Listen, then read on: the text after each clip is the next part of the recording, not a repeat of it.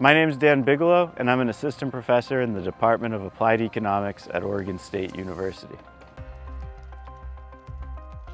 Land use policy describes the rules, regulations, and guidelines established by governments at various levels to influence how land is used in a specific geographic area.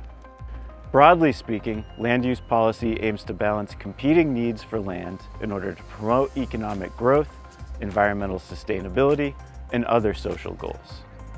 In the U.S., land use policy can emanate from a range of governmental entities, from local governments to the U.S. federal government.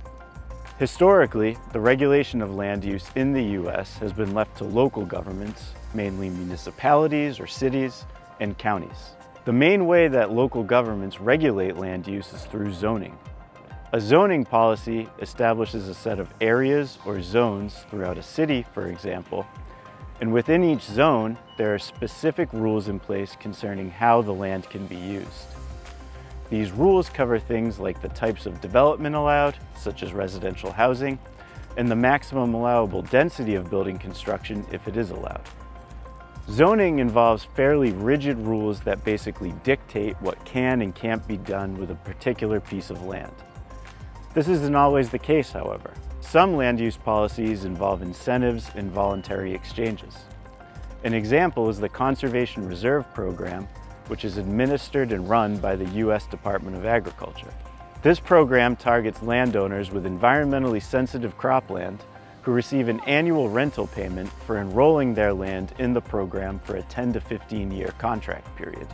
While in the program, the landowner agrees to implement some type of conservation cover practice, such as returning the land to native grasses or wetlands. At the end of the contract period, the landowner may be able to re-enroll in the program, or they can return the land to its previous use producing crops. There are also cases where different levels of government work in concert to enact land use policy. A well-known example of this type of setup is found right here in Oregon.